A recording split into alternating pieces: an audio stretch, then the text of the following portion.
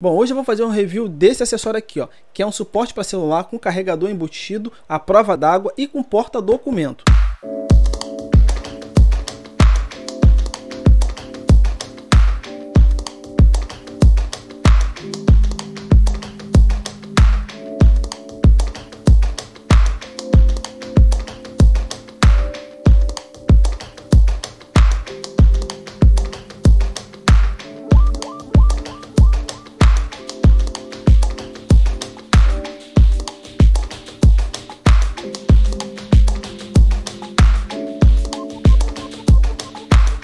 Olá pessoal, tudo bem? Meu nome é Eduardo, sejam bem-vindos ao canal Brasil Duas Rodas. Aqui você vai encontrar dicas de mecânica, pilotagem defensivas, dicas de viagem, review de produtos e acessórios para você e para sua moto, além de ficar por dentro das notícias mais importantes sobre o mundo do motociclismo. Então se você considera esse conteúdo importante, já se inscreve no canal, são só dois cliques, um para se inscrever e um para ativar a notificação.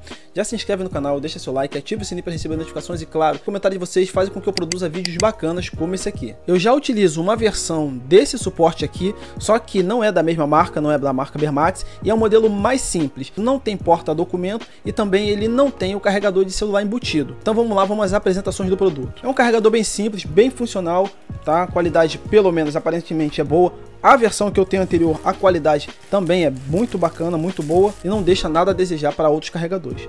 Bom, ele vem poucas coisas na caixa, vem aqui manual ensinando como você deve utilizar o produto, tá? Mas é algo bem simples, não tem o que você ter dificuldade na hora da instalação, beleza? Bom, vamos lá. O que, que a gente tem aqui, ó?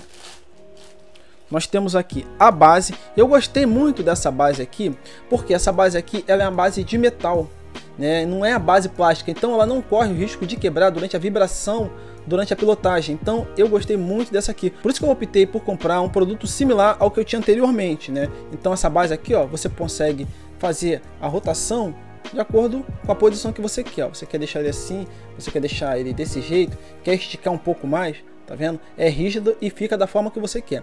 E aqui possui uma regulagem muito bacana, que aí você faz a regulagem, encaixa aqui, ó. Deixa eu ver aqui se você consegue verificar. Ó, e regula da forma que vocês querem que fique a posição do celular na motocicleta. E aí dentro da embalagem nós temos aqui, é, vamos lá, um brindezinho, né? Que é um cabo para você carregar.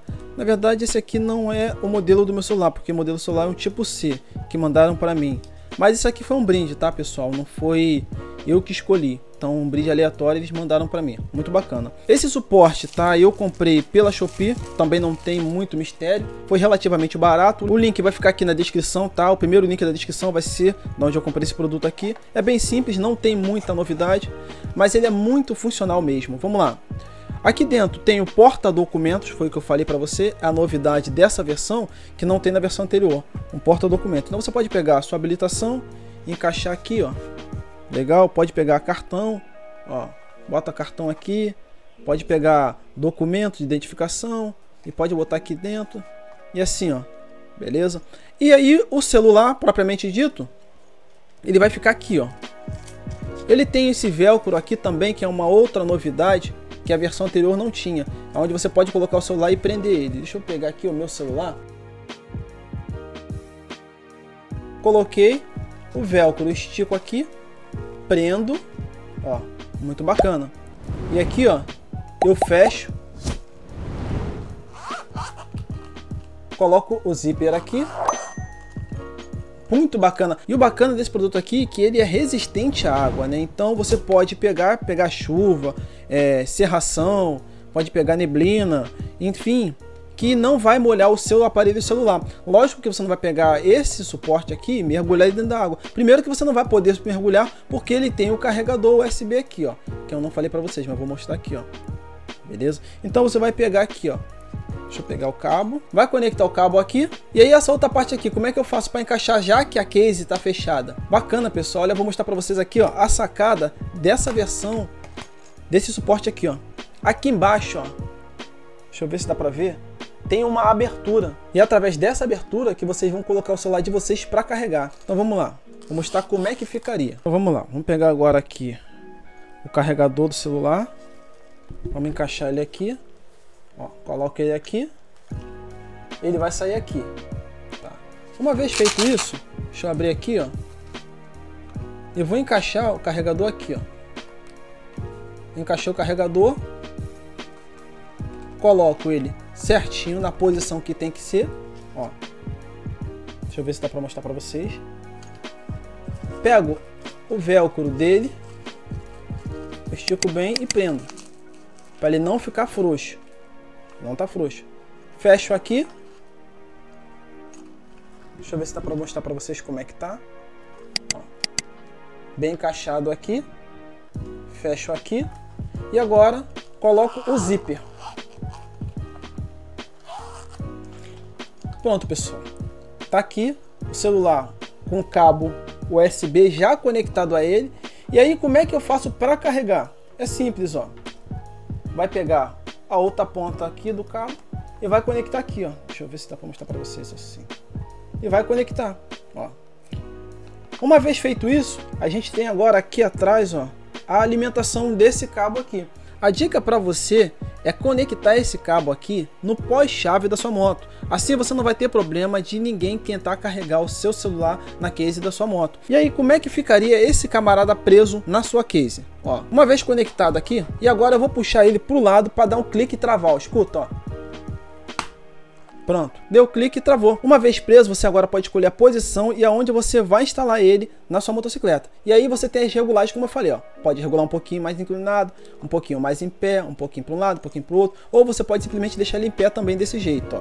Eu geralmente utilizo ele dessa forma, fica melhor visualmente para poder visualizar e para poder pilotar. Bacana? Coloco ele assim, e vou pilotar numa boa, sem problema nenhum.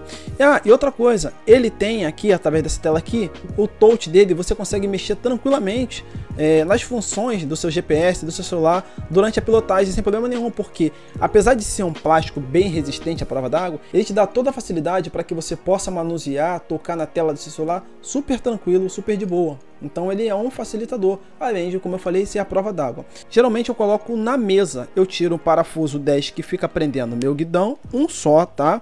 Coloco ele na mesa, parafuso aqui por cima de novo e fica bem preso, não tem problema nenhum. Então vamos lá, se você bota o seu aparelho dessa forma, ele não vai ficar balançando, não vai ficar bambo, não vai ficar trêmulo, porque ó, aqui atrás tem uma regulagem ó, que trava ele e ele fica muito firme. Ó, ele não fica molengo aqui assim, ó, balançando. Claro, vai balançar de acordo com a vibração da moto, porque a vibração vai passar toda para cá, mas não vai ter problema de ele ficar caindo para um lado para o outro. Uma vez colocado na posição que vocês querem, acabou. Não vai ter dor de cabeça. Vamos falar agora dos prós e contras desse acessório aqui para você motociclista. O custo-benefício dele é um fator muito bacana, é um fator atraente, tá? Você tem outros produtos melhores no mercado. Não estou falando que esse aqui é o melhor produto para você que quer um suporte para celular com carregador. Existem outros. Existem melhores, existem inferiores. Como eu sempre falo aqui, para o meu custo-benefício, para o meu bolso, esse produto aqui atende às minhas necessidades. Não quer dizer que esse produto aqui vai servir para você. Para você pode não servir. Para você pode ser um produto que vai te desagradar. Para minha realidade, é um custo-benefício excelente. Tem outros que tem umas presilhas aqui do lado né? Que você prende o celular, mas aí é um problema porque se você passar em um local que tenha muita vibração, é, pode acontecer se o celular escapulir, cair e vai direto para o chão. Aqui não, é como se fosse uma case, né? Então o aparelho fica protegido aqui dentro. Mesmo que ele caia, ele está bem protegido porque isso aqui é bem rígido. Então ele não vai ter problema de que mesmo que ele caia assim, dessa forma. Né? Então ele tem uma proteção maior aqui, ó que não corre tanto risco de quebrar em caso de queda. Não vou dizer que ele não vai quebrar, porque cada aparelho tem uma composição, né? mas ele protege bastante em caso de queda. Coisa que é difícil, porque esse suporte aqui atrás é bem firme. Tá? Então eu vejo como benefício. Ser uma case fechada, a prova d'água, né? que tem um custo-benefício muito bom, como eu falei anteriormente. É, e como novidade, ele tem esse carregador aqui com esse cabo aqui que você pode ligar no pós-chave.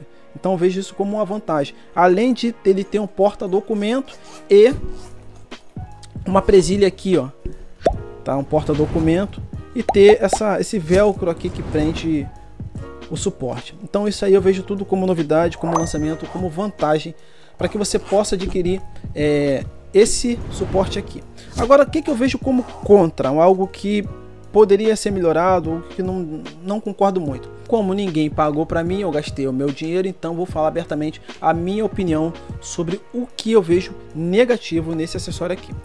Bom, vamos direto ao ponto. O principal, o principal ou a única coisa que não me agradou aqui foi o posicionamento desse carregador, porque é, em dias de chuva, certamente esse carregador aqui vai molhar. Não tem como. Mesmo que você não esteja utilizando ele, tá? Você tem uma tampa aqui que ela é flexível, então ela vai proteger bem em dias de chuva. Só que se algum momento você precisar carregar seu celular em dias de chuva, ó, vai dar ruim, ó.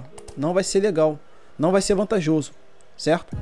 Então o que, que poderia ser feito? De repente, é, o fabricante ou quem produz esse esse acessório aqui, colocar esse carregador aqui, ó, né, em volta de um outro, sei lá, uma outra capinha aqui por dentro, talvez uma proteção melhor para que em dias de chuva isso aqui não tenha risco de molhar, né? Então eu vejo isso aí como desvantagem. Você pode até pegar esse suportezinho aqui e virar ele para baixo, inclinar ele para baixo. Só que mesmo assim, em dias de chuva, corre-se o risco de molhar quando a água escorrer e vir para cá. Então isso aí eu vejo como uma desvantagem. Sendo bem sincero com vocês, né? Então esse aqui é o ponto negativo que eu vejo em dias de chuva. Bom, mas agora se eu tiver que fazer um balanço positivo ou negativo, obviamente que é, no cômputo geral, de forma geral, esse suporte aqui ele é vantajoso. É vantagem, eu adquiri e recomendo. Em dias de chuva você pode utilizá-lo, só que com moderação, com cuidado, com atenção, justamente para que não entre água. E quando você estiver utilizando a moto, sempre vê dar bem para que em dias de chuva não corra o risco de entrar água. Custo-benefício, já falei, o link vai estar aqui na descrição. Vale a pena? Na minha opinião, vale a pena. Agora não sei para você. Como eu falei, cada um tem um posicionamento, cada um tem uma forma de ver, visualizar, analisar e tirar suas conclusões. Para mim, considerei esse acessório aqui muito bacana. Já utilizo ele na minha moto uma versão anterior, agora vou instalar essa versão aqui e vai ser mais um produtinho, um acessóriozinho que vai entrar aí na minha coleção de produtos que eu utilizo na minha moto. Recomendo. O link dele eu vou deixar aqui na descrição. Bacana? Então, pessoal, o vídeo de hoje foi para fazer um review desse suporte para celular com carregador USB e a prova d'água. E ainda com porta-documentos e velcro, né? Que pode prender seu carregador e ficar muito mais resistente ali dentro da, da case, né? Porque isso aqui na verdade é uma case. Então, se você parar para observar, é uma case. Então, se vocês gostaram do vídeo, já se inscreve no canal, deixa seu like, ative o sininho para receber notificações e claro, deixe seu comentário, já que como eu sempre falo, o comentário de vocês fomentam vídeos bacanas como esse aqui. Através do comentário de vocês é que eu posso melhorar o conteúdo apresentado a cada vídeo. Bacana? Então, um abraço a todos, fiquem com Deus e até o próximo vídeo.